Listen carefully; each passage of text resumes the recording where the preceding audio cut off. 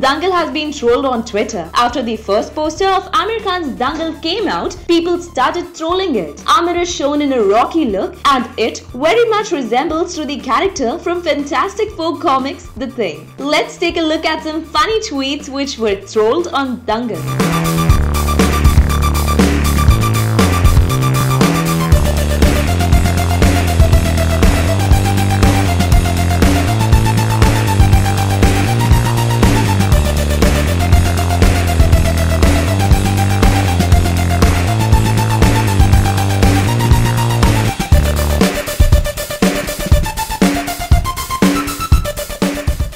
So what do you feel on this story? Leave your comments below. And for more Bollywood updates, subscribe our channel Bollywood Inside Out.